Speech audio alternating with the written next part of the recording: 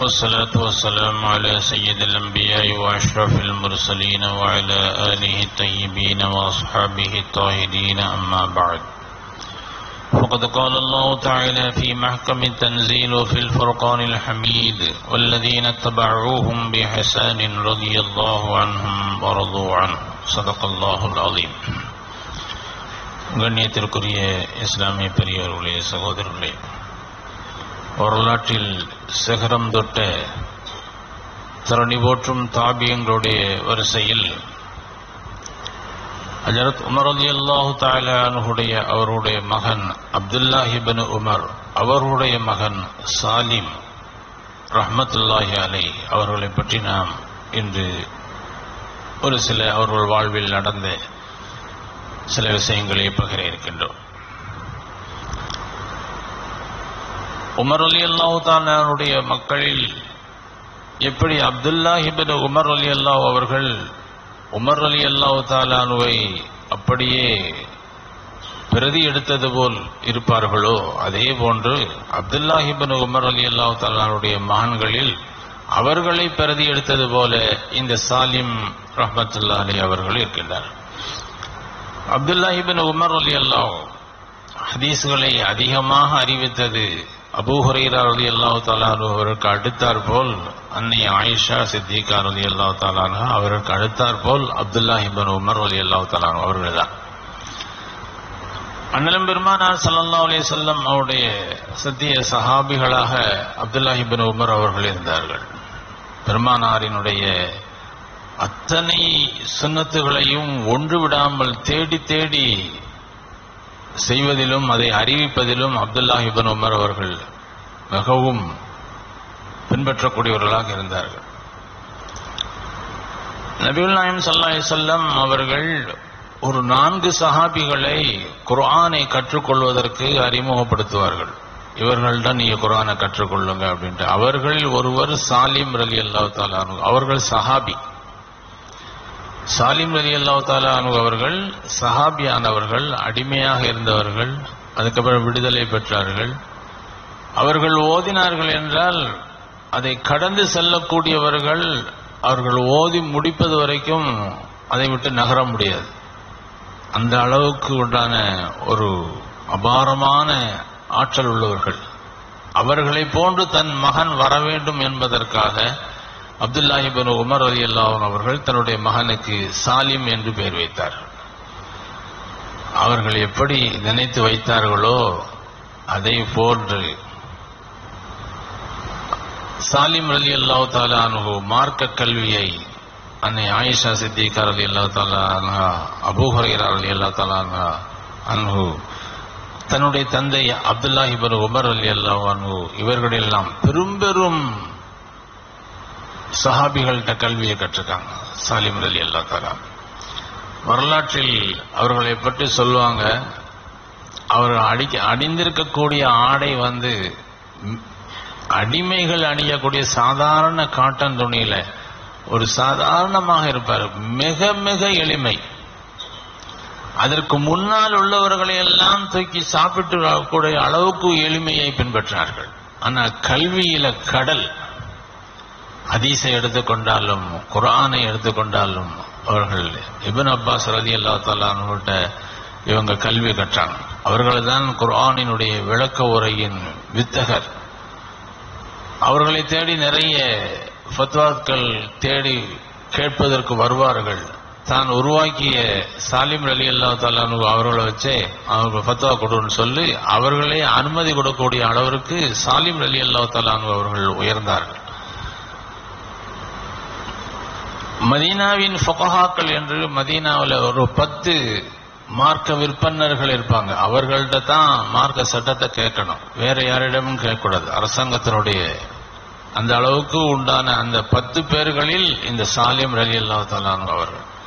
வெகு தூரத்தில் இருந்து மார்க்க சட்டத்தை கேள்வி தெரிவிப்பதற்கு தெரிந்து கொள்வதற்காக சாலிம் அலி அல்லா தலானுவை தேடி வருவாங்க.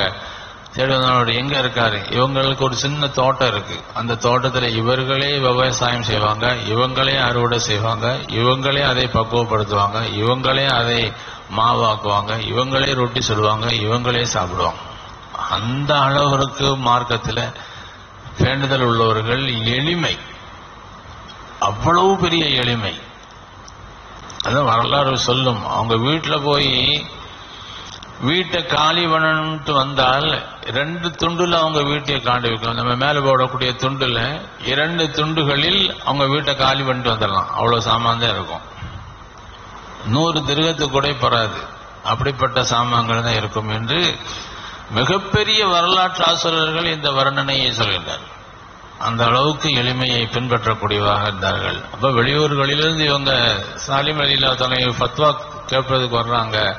எல்லாரும் அடையாளம் காட்டினார்கள் அங்கே இருப்பாங்கன்னு அங்கே போனால் இவங்க தோட்ட வேலை செஞ்சுக்கிட்டு ஒரு அடிமையை போல ஆடைகள் எல்லாம் சாதாரண ஆடையில் இருக்கிறாங்க. அவங்களுக்கு ஆச்சரியம்.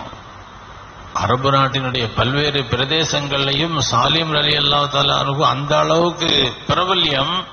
ஆனால் பார்ப்பதற்கு இப்படி இருக்காங்களேன்னு அவங்க ஆச்சரியப்பட்டு போனார்கள். அவர்கள் கேட்கக்கூடிய விடைய கேள்விகளுக்கு அந்த இடத்திலேயே ஆதாரமான பதில்களையும் ஆயத்துகளையும் ஹதீஸ்களையும் சொல்லி விளக்கம் சொல்லக்கூடியதுல பெரிய வித்தகர்.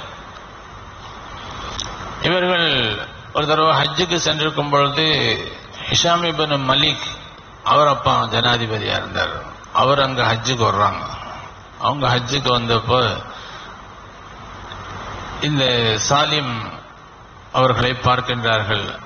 அவங்களுக்கு உமர் அலி அல்லா தலானுடைய பேரன் அல்லவா? எனவே அவங்களை கூப்பிட்டு அவங்களுக்கு ஏதாவது நம்ம கொடுக்கணும். அரசர்கள் வந்து இந்த மாதிரி முக்கியமான ஆட்களுக்கெல்லாம் அன்பளிப்பை கொடுத்து தான் கை தன்னுடைய ஓட்டத்திற்குள் அவர்களை வைத்திருப்பதற்காக பிரியப்படுவாங்க. ஆனால் இந்த சாலிம் அலி அல்லா தலானுக்கு போன்றவர்கள் அரசாங்கங்களிடமும் அதிகாரிடமும் எந்த அன்பளிப்பையும் வாங்க மாட்டாங்க. கூப்பிட்டு கொடுத்தாலும் வாங்க மாட்டாங்க. அவர்களை அழைத்து ஹிஷாம் கேட்கின்றார் உங்களுக்கு ஏதாவது தேவைன்னா கேளுங்க அப்படின்னு கேட்கிறாங்க ஹஜ்ஜில் காபத்துல்லாவுக்கு பக்கத்தில். அப்போ சாலிம் சொல்கின்றார் நாம் இருக்கிறது அல்லாஹனுடைய பைத்துல்லாவுக்கு பக்கத்தில் இருக்கிறோம். அல்லாஹனுடைய இல்லம் இங்கே இருக்கிறது. முக்கத்துல் முக்கரமா காபத்துல்லா அங்கே இருக்கு. இங்கே வச்சுக்கிட்டு அல்லாஹ் அல்லாதவர்கிட்ட கேட்கறதுக்கு நான் வெக்கப்படுறேன் அப்படின்னா. கபத்துல்லாவுக்கு முன்னால் நின்றுக்கிட்டு உங்கள்ட்ட வந்து கேட்கறது நான் வைக்கப்படுறேன் அல்லாட்ட கேட்டுக்கிடுவேன் அப்போ இஷாமுக்கு அந்த பதில் சரியான ஆணித்தரமான பதில் தான் அது. இப்ப அவருக்கு இவருக்கு ஏதாவது கொடுக்க வேண்டும் அப்படிங்கிற ஒரு ஆசை. ஏன்னா இவர் பெரிய மார்க்க மேத. இவரை கொடுத்து கையில போட்டு வச்சுக்கலான்ட்டு அவர் அரசர்கள் அந்த மாதிரி உள்ள ஆட்கள் தான். காபத்துல்லா ஹரம் சரீபை விட்டு வெளியில வர்றதுக்கு வேண்டி பார்த்துக்கிட்டே இருந்தார். வெளியில வந்ததுக்கு அப்புறம் அந்த ஹிஷாம் சாலிமை அழைத்து இப்போ காபத்துல்லா விட்டும் வெளியில வந்தாச்சு ஹரமையும் விட்டு வெளியில வந்தாச்சு. இப்போ ஏதாவது கேளு என்று கேட்டார். இப்போ சாலிம் சொன்னார்கள் துனியாவை கேட்பதா ஆகரத்தை கேட்கவான்னு கேட்டான். இப்போ ஹிஷாம் சொன்னாரு துனியாவை கேளு அப்படின்னு அப்போ சாலிம் அலி எல்லாத்தெல்லாம் சொன்னாங்க சர்வலோக துன்யாவையும் தன் கைக்குள் வைத்திருக்கக்கூடிய சர்வலோக சக்கரவர்த்தி அல்லாஹிடத்திலேயே நான் ஒன்னு எதத்தாயத்தான் கேட்கல அப்படி கேட்டா ஆரோக்கியத்தையும் மன்னிப்பையும் கேட்பேன் வேற ஒன்னையும் கேட்கல ஒரு சின்ன நாட்டை வச்சிருக்க இடத்துல உங்கள்ட்ட தான் என்னத்தை கேட்கறது அப்படின்னு சொன்னோன்னு அவர் வாய் அடைத்து போனார். இந்த மாதிரியாக பேணுதலும் பற்றற்ற வாழ்க்கையும் உலகத்தை ஓரக்கண்ணால் கூட பார்க்காத ஒரு துறவியாக வாழ்ந்தார்கள் சாலிம் ரலி அல்லா தாலான் அவர்கள். நகைச்சுவையாக பேசுறதுலையும் அலாதியானவர். ஒருவர் வந்து இவர்கிட்ட கனவில ஒருவர் என்னை அவதூறு கூறுகிறார் என்று சொன்னார். அதுக்கு என்ன சட்டம்? அதாவது அவதூறு சொன்னால் எண்பது கசை அடி குடிக்கணும். அவதூறு என்றது பழிப்பு ஒரு பெண்ணையும் ஆணையும் சேர்த்து தவறாக செய்தியை சொல்றதுதான் அவதூறு. அது முக்கியமான அவதூறுகள்ல ஒன்று. இது ஒன்று திருட்டு இப்படி படிப்படியா இருக்குது. இப்படி பொய்யான அவதூறுகளுக்கு எண்பது கசையடி இவர் சொல்கிறார் ஒருவரை குறித்து அவர் கனவுல வந்து என்னை அவதூறு சொல்கின்றார் என்று சொன்ன உடனே இதுக்கு என்ன தீர்ப்பு சொல்ல முடியும்? கனவுல. உடனே சாலியம் அலி அல்லா அவங்க சொன்னாங்க யார் அவதூறு கூறினாரோ அவருடைய நிழலை எண்பது கசையடி அடிச்சுக்கொண்டாங்க அதாவது ஹிக்மத்தாகவும் அதே சமயம் நகைச்சுவையாகவும் பேசக்கூடியவர்கள். ஹஜாஜி பின் யூசுப் அவர் சர்வாதிகாரி தானே. அவர் ஒரு கூர்மையான ஒரு ஆ- ஒரு வாளை ஒருவரிடம் கொடுத்து விட்டு இதை சாலிம்கிட்ட கொண்டு கொடு. சாலிம்கிட்ட கொடுத்து இன்னும் ஆளை மரண தண்டனையை நிறைவேற்ற சொல்லும். ஒரு ஆளையும் அவங்க அரெஸ்ட் பண்ணிட்டு வர்றாங்க. அவங்க ஆளை வச்சு மரண தண்டனை கொடுக்கலாம். அஜாஜி பின் யூசுப் ஹிக்மத்தான ஆள். ஒரு மார்க்க மேதை தான் இந்த இதை செய்தார் என்பது என்ற மாதிரி பதிவு இருக்கணும் வரலாற்றில். அப்படி என்பதற்காக சாலிம் அலி அல்லா கொடுத்து அவருக்கு மரண தண்டனை கொடு என்று அரசு கட்டளை. சாலிம் அலி அல்லா அவரை இழுத்து விடப்படுது. சாலிம் அலி அல்லா அந்த வாழையும் கொடுக்கப்படுது. அரசர் சொன்னார் ஹஜ்ஜாஜி பின் இயேசு சொன்னார் இந்த வாழை வாங்கி இவரை வெட்ட வேண்டும் என்று அரசு உத்தரவு. வெட்டப்பட இருக்கிறவர் வரலாற்றில் எழுதுறாங்க வெட்டப்பட இருக்கிறவர் குற்றமற்றவராக இருந்தாலும் கூட அவர் சொல்லுகின்றார் சாலிம் ரலி அல்லா பார்த்து நீங்க விட்டுங்க உங்க கையால் நான் மரணிப்பதற்கு நான் பாக்கியம் செய்து வந்தேன்.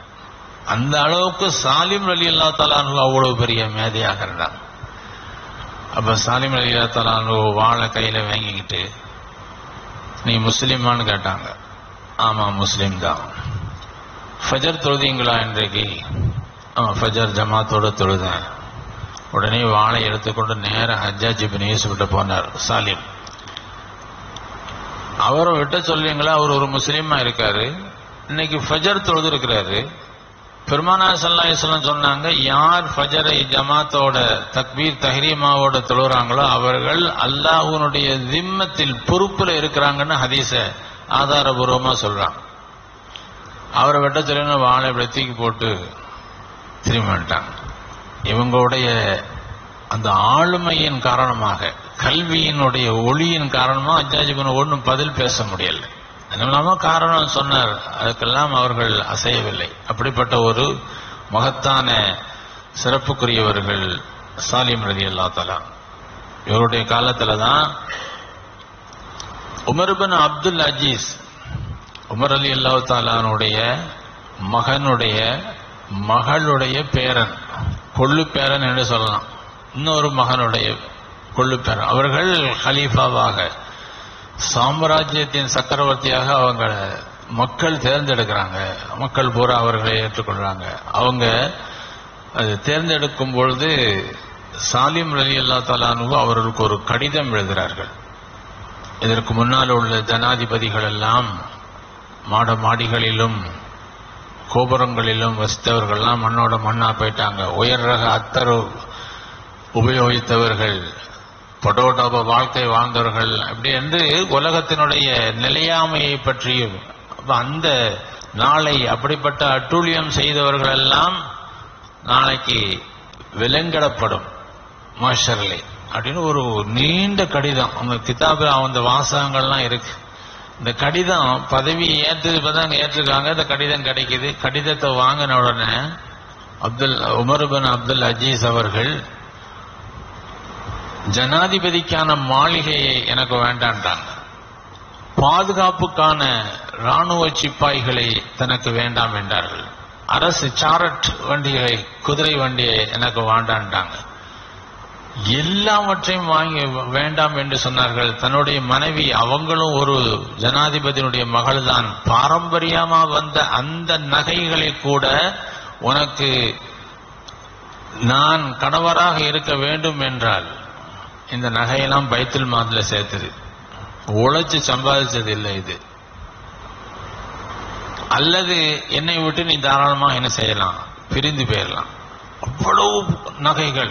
அந்த மனைவி அவர்கள் அவ்வளவு சாலிகானவர்கள். அத்தனை நகைகளையும் எனக்கு அல்லாஹும் ரசூலும் காட்டிய வழியின்படி நடக்கக்கூடிய என்னுடைய கணவர் தான் வேண்டும் என்று அத்தனை நகைகளையும் கலற்றி கணவரிடம் கொடுத்தார்கள். அதை அதுக்கு காரணம் இந்த சாலிம் லலில்லா போட்ட லெட்டர். அப்படி போட்டு ஒரு உலுக்கு உலுக்கிடுச்சு. அதற்கப்புறமும் அப்துல்லா இபின் அப்துல் அஜீஸ் அவர்கள் கடிதம் எழுதினார்கள். தாத்தா உமர் அலி அல்லாஹ் தலானுடைய ஆட்சி மாதிரி ஆட்சி செய்வதற்கு எனக்கு சில ஆலோசனை கூறுங்கள் என்று சாலிம் அலி அல்லாவுக்கு கடிதம் எழுதினாங்க. சாலிம் அலி அல்லா தலான்னு சொன்னாங்க நீ விருப்பப்படுறது உண்மைதான். ஆனால் உமர் அலி அல்லாஹு தாலாவுடைய காலத்தில் வாழ்ந்த மக்கள் வேறு. அந்த காலம் இருக்குல்ல காலத்தினுடைய தூரம். அப்ப சத்திய சஹாபிகள் இருந்தாங்க. இப்போ சஹாபிகளுக்கு அடுத்த காலம். எனவே இந்த மக்கள் வேறு. அப்படி இருந்தும் உமர் அலி அல்லாஹு தலானு மாதிரி நீ ஆட்சி செய்தால் நான் நிச்சயமா சொல்றேன் உமரை விட நீ சிறந்தவர். Abdullah ibn Umar ibn Abdul Aziz அவர்கள் உண்மையாகவே உமர் அலி தலா இரண்டாம் உமர் என்றுதான் அவருக்கு பேர்.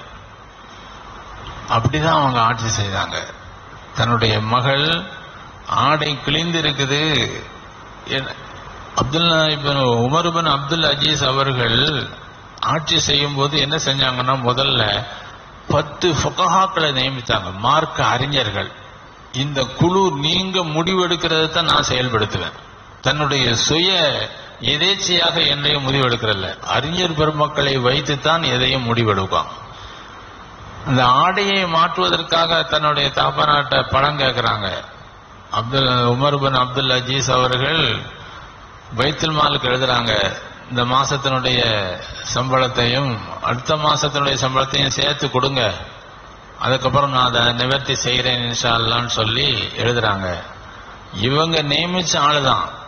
இவங்க நியமித்தவர்கள் எப்படி இருக்கான்னு பாருங்க. அவர் பதிலம் எழுதினாங்க. அடுத்த மாசம் வரைக்கும் நீங்க உயிரோடு இருப்பீங்கிறதுக்கு உத்தரவாதம் தாங்க நான் தர்றேங்கிறான். அந்த பணத்தை வாங்கவே முடியல. அந்த ஆள் மாதிரி உண்டான ஆட்களைத்தான் இவர்கள் அதிகாரிகளாக நியமிச்சிருக்காங்க. அவர் அப்படி நடந்து கொள்வதற்கு காரணமே இவர்கள் உமர் அப்துல் அஜீஸ் தான் அவர்கள் தான் இப்படி உமருபன் அப்துல் அஜீஸ் அவர்களை இப்படி செதுக்கிய செம்மல் சாலிம் ரலி அல்லா அவர்கள். அவருடைய மீண்டும் ஒரு ஹஜ்ஜில் அதே ஹிசாமை சந்திக்கின்றார். என்ன சாப்பிடுகின்றீர்கள் என்று கேட்கும்பொழுது நான் ரொட்டியும் ஜெய்தூன் எண்ணெயும் சாப்பிடுகிறேன் என்றார்கள். அவர் சாப்பிடுறதை வரலாற்றில் தான் எழுதுறாங்க. அவர் சாப்பிடுறதை மன்னர் பார்த்து கொண்டே இருந்ததுனால அவங்களுக்கு அது திருஷ்டியின் கோளாறனாக கோளாறு ஏற்பட்டு காய்ச்சல் ஏற்பட்டு அதிலேயே அவர்கள் வஃத்தாகியும் விடுகின்றார்கள். இந்த மன்னர் தான் தொலை வைக்க போறார். ஜனாசா தொலை வைப்பதற்கு மக்கள் கூட்டம் என்றால் கண்ணு கெட்டிய தூரம் வரைக்கும் மக்கள். சாலிம் அலி அல்லா தலானு அவர்கள் வஃத் ஆகிட்டாங்கன்னு சொன்ன உடனே மன்னருக்கே ஆச்சரியம். இவ்வளவு மக்களும் யாரும் வெளியூர் ஆட்களா? இல்லை. மதீனா வாசிகள் தான். எல்லாரும் ஜனாசாவுக்கு வந்துட்டாங்கன்னு. மன்னரே பெருமித்து போகக்கூடிய அளவிற்கு ஜனாசாவுக்கு மக்கள் திரண்டன. அவர்கள் அதே ஹஜ்ஜுடைய ஹஜ்ஜுடைய மாசத்துல தான் அவர்கள் முஃபாத்தானார்கள் அல்லாஹு ஜல்லஷானவத்தால அவர்களை புரிந்து கொள்வானாக.